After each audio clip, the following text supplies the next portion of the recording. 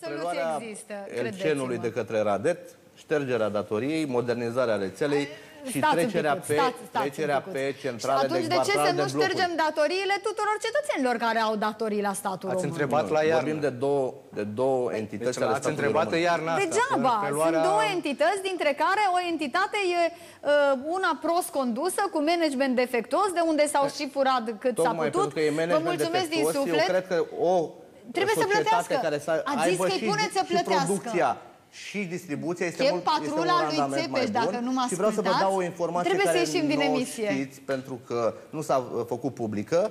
Ceturile au fost construite ca să, uh, cre- să producă și energie electrică și agent termic. Energia electrică se vinde la niște băieți deștepți uh, și intră în sistemul național pe niște prețuri Dacă îmi dați mici un nume, vă las să spuneți mai și departe. se pre, uh, vinde Dacă la nu, prețuri nu. mici, iar primăria capitalei Bun. cumpără de pe Vă piață mulțumesc din suflet. curent Fără pentru, nume, tra- nu, nu, pentru nu, nu, trac- nu, nu, vreau nume. transportul de tracțiune Vreau nume. și pentru ilu- iluminatul public la un preț de 3,7 ori mai mare. Vă mulțumesc din suflet, vreau nume.